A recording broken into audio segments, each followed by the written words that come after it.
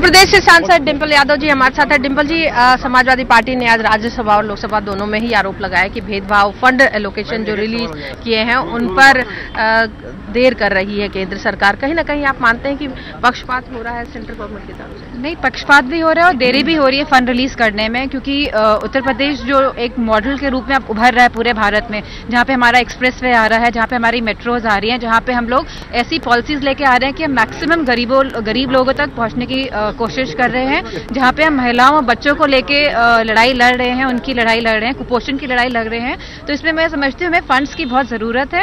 And इस तरह का जो बुकलेट है ये हमने सभी अपने सांसदों को उत्तर प्रदेश को दिया है जिससे कि और हमने रिक्वेस्ट की है हमारे सरकार से कि जितनी जल्दी आप फंड रिलीज़ करेंगे उतना ही हमारे प्रदेश के लिए बेहतर आपके संसदीय क्षेत्र में भी कुछ ऐसे काम है जो रुके हुए हैं फंड की वजह से? नहीं मेरे संसदीय क्षेत्र में अभी तो ऐसा नहीं रुके हैं। एक हमारे सैनिक स्कूल की डिमांड है जिसमें पाँच प्रतिशत सेंट्रल गवर्नमेंट को देने हैं तो दैट्स ऑल प्रधानमंत्री का निर्वाचन क्षेत्र भी उत्तर प्रदेश है। तो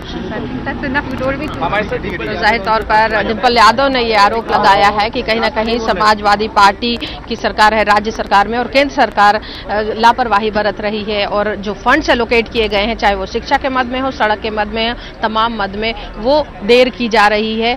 तमाम चिट्ठी लिखने के बावजूद भी प्रधानमंत्री की तरफ़ से इस पर कोई भी जवाब नहीं दिया गया। इस समय दिल्ली से कैमरामैन देव मेरा के साथ अनामिका रत्ना।